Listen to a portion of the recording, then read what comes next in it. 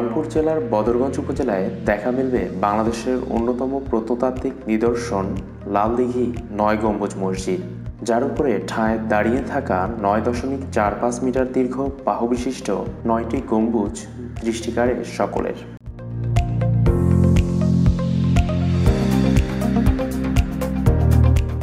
ইতিহাস ঘাটলে দেখা যায়, ভারতীয় উপমহাদেশে ব্রিটিশ শাসন আমলে সর্বপ্রথম এই মসজিদটি আবিষ্কৃত হয়। পরবর্তীতে স্থানটিকে পরিষ্কার করে ও মসজিদটি সংস্কার করে সেটি স্থানীয়রা ব্যবহার শুরু করেন। এই মসজিদের নির্মাণকাল সম্পর্কিত কোনো ধরনের শিলালিপি পাওয়া না গেলেও কিংবদন্তি অনুসারে জনৈক দিলওয়ার খান মসজিদটি নির্মাণ করেন বলে ধারণা করা হয়। ঐতিহাসিক এই মসজিদের কাছেই রয়েছে একটি ঘাট বাঁধানো পুকুর। লোকমুখে শোনা যায়, এই পুকুর আর মসজিদ এক রাতে বানানো।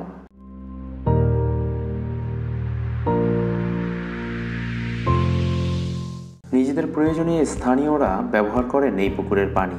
এই যেমন উত্তরবঙ্গের নাম করা লাপা শাক ধোয়া হচ্ছে পুকুরে। ক্ষেত থেকে শাক এনে পুকুরের পানিতে তা পরিষ্কার করে নেওয়া হচ্ছে নিকটস্থ হাটে।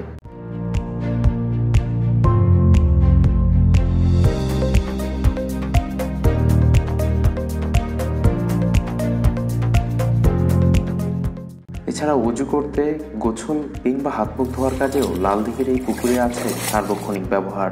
সকাল থেকে সন্ধ্যা পর্যন্ত সব বয়সী, সব শ্রেণির লোকের দেখা মেলে এই ঘাটে।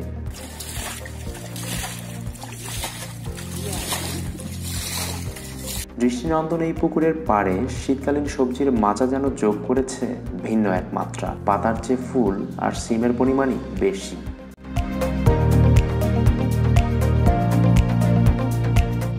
ঐতিহাসিক লালদিঘির নয় গম্বুজ মসজিদের ইতিহাস জানতে আসা দর্শনার্থীদের বিশ্রামের জন্য পুকুর পাড়ে বেশ কিছু কংক্রিটের বেঞ্চের ব্যবস্থা করা আছে।